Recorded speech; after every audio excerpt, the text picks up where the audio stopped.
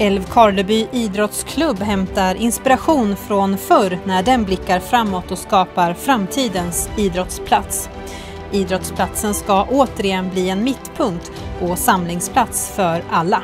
Älvkarleby IK har de senaste åren märkt av hur intresset för traditionellt organiserad idrott avtagit bland ungdomar. Något man bestämde sig för att ändra på. Klubben ville att den slumrande idrottsplatsen skulle vakna till liv igen och på nytt bli den naturliga mötesplats den en gång var. Det är Älvkarleby IK själva som äger idrottsplatsen så den kan klubben utveckla som de vill.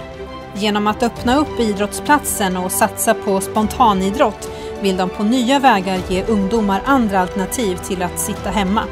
Först byggde man om utehockeyrinken som asfalterades och fick ett multisportgolv. Efter det följer en konstgräsplan och en bikepark för alla som gillar att cykla.